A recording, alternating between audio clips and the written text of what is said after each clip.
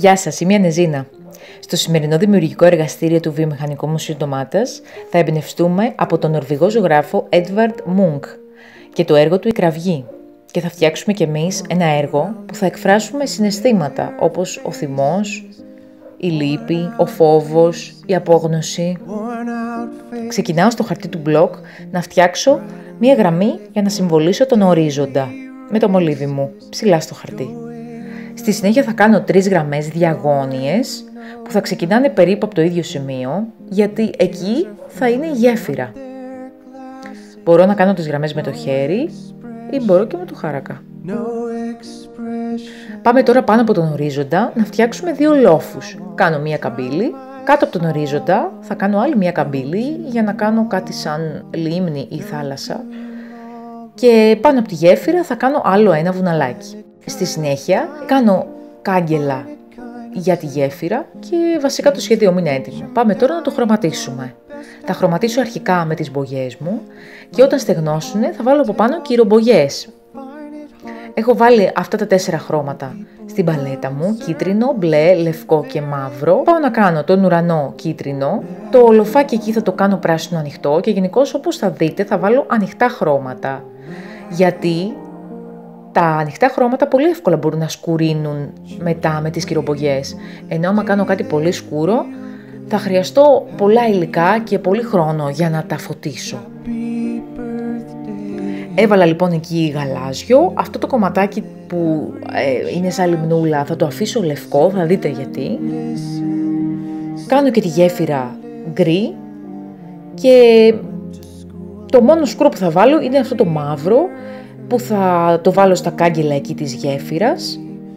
Το κάνω λίγο πιο προσεκτικά, αλλά και πάλι αν κάνω κάτι που δεν μου αρέσει δεν θα ανησυχήσω, γιατί αργότερα μπορώ να το διορθώσω πολύ ωραία με τις κυρομπογιές. Ολοκληρώνω με το μαύρο τη ζωγραφιά μου και το αφήνω στην άκρη να στεγνώσει.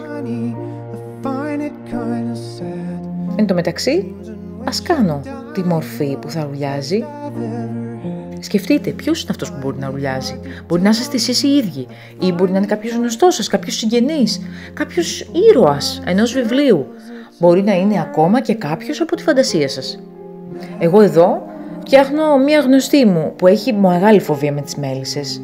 Όταν δει μέλισσα κοντά της, ουρλιάζει πάρα πολύ δυνατά. Έτοιμη η φιγούρα μου, την έκοψα κιόλας, να αφήνω στην άκρη. Πάω να χρωματίσω το έργο μου που έχει στεγνώσει πια με τις κυρομπογιές στα παστέλ. Βλέπετε έκαναν τον ουρανό ε, απογευματινό, σαν να δει ο ήλιος. Ωραίο ήλιο βασιλέματα πρέπει να έχει και εκεί στην Νορβηγία, όπως και εδώ στη Σαντορίνη, ε. Και αυτό το κομματάκι που ήταν λευκό, μάλλον θα καθρεφτίζει ό,τι συμβαίνει από πάνω στον ουρανό, όπως γίνεται σε μια λίμνη ή στη θάλασσα, ε. Η θάλασσα δεν είναι μπλε, πραγματικά μου πάρετε στη χούφτα σας νερό είναι διάφανο.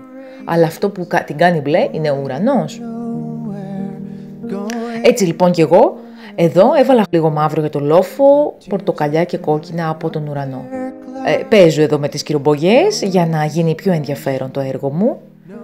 Ε, πάντα εμπνευσμένη από το πρωτότυπο έργο του Μούγκ. Όπως βλέπετε στο έργο του Μούγκ υπάρχουν δύο φιγούρες εκεί στην άκρη της γέφυρας και έκανα κι εγώ μία εκεί. Και ολοκληρώνω με τη γέφυρα και πάμε τώρα να κάνουμε τα κάγκελα της γέφυρας. Με ανοιχτά χρώματα, ανοιχτές κυρομπογιές, κίτρινο, λευκό, σωμών. Κάνω, βλέπετε, κάνω τα κάγκελα από την πάνω μεριά, για να τους δώσω μια πιο τριδιάστατη όψη. Φανταστείτε ότι είναι μια σιδερένια γέφυρα και μπορεί ε, το φως να πέφτει πάνω σε εκείνο το κομμάτι και να το φωτίζει. Μπορεί το φως αυτό ε, να έρχεται από τον ουρανό, ε. Οπότε γιατί να μου βάλω και μερικά κόκκινα και πορτοκαλιά; Διορθώνω ύστερα με το μαύρο ότι δεν μου αρέσει και βασικά είναι έτοιμο. Πάω τώρα να κολλήσω με την κόλλα τη φιγούρα μου. Μπορείτε να την κολλήσετε όπου θέλετε, σε όποιο σημείο θέλετε. Μπορείτε επίσης να της κάνετε και πόδια. Παρότι ο Μουγκ δεν έχει κάνει πόδια, εσείς μπορείτε αν θέλετε να βάλετε. Πώς σας φαίνεται; Περιμένω με πολύ αγωνία να δω και τις δικές σας δημιουργίες. Καλή επιτυχία! Γεια χαρά!